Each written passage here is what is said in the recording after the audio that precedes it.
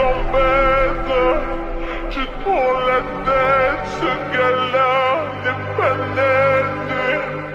Il est fauché, allez bien, sois pas bête. Je, je t'en prie.